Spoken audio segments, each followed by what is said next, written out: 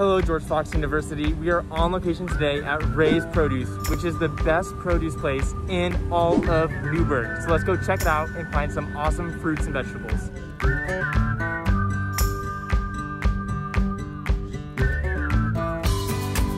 Something great about Ray's is that it's super affordable. So you can get tons of fruit for not that much money.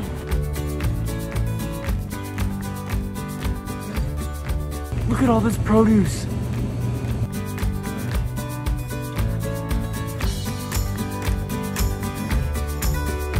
Sweet, I got my produce for the week and campus is only 10 minutes away, so I'm gonna head there now. All right, Bruins, I'm back on campus and that was on location at Ray's Produce, which has the best produce in Newberg for super affordable prices. So make sure to go check it out.